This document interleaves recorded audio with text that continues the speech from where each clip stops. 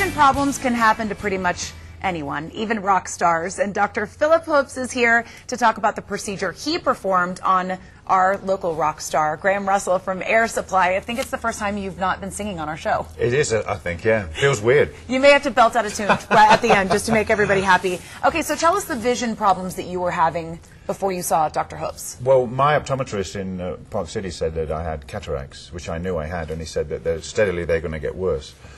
And he said, uh, uh, would I think about getting surgery? And I, went, I hadn't thought about it then, but uh, he put me in touch with Dr. Hoopes, and the rest is history. I went down there, and, and he gave me a great examination and said, uh, he confirmed his suspicions and said, yeah, why don't I get it done? So I had it done, you know. How common is this for someone like Graham to have cataracts? Well, cataracts are very common. In fact, it's one of the more common surgical procedures performed in the United States. You know, we typically wait until the vision is beginning to become problematic for the patient, so things that they might do on a day-to-day basis uh, seem to be more difficult, more problematic.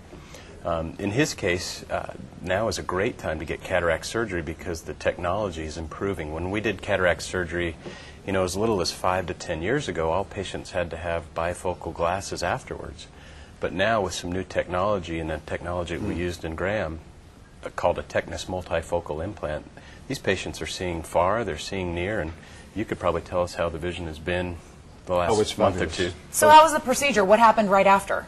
Um, right after I I went home, you know, about 15 minutes afterwards, and it was so simple, you know. In fact, the second one I fell asleep. Remember that?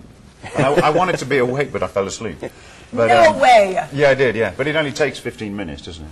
Yeah, Very... Well, you have to be able to see your fans I do. out there and give them a wave. And Absolutely. But I, I, I used to have glasses, but I don't have glasses anymore, and. Uh, and, and I would recommend someone that's thinking of having cataract surgery, you should go and have it because it's so simple and, and I can see anything now, far and near, you know. that's amazing. Okay, so if how do you know if you have cataracts? I mean, do you need to go see someone, see a doctor, see you to see know if you have them? And what would be the symptoms of that?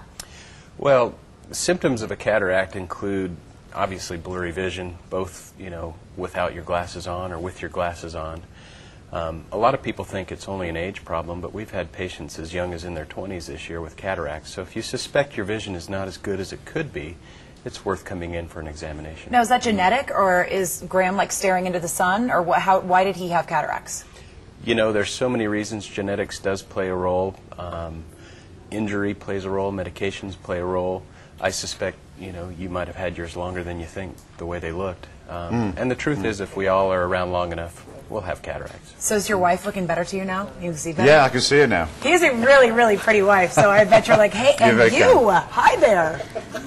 Good to see you. Okay, so some of the tell other things that you're doing at, at Hoopes, because you do LASIK, you do a bunch of different things to help people's vision.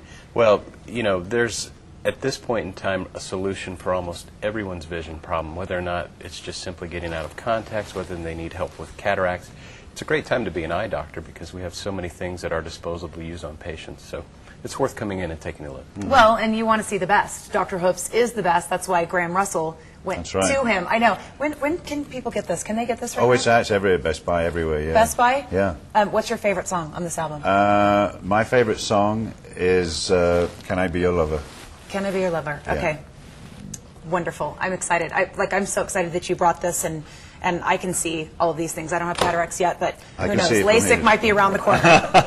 Graham, great to see you. Glad your vision's doing well. It's great. Dr. Hoopes, thank you for coming on and talking about this. Okay, Dr. Hoopes, you can go to our website to find out more information, but um, hoopesvision.com, 801 568 0200 if you more, want more information.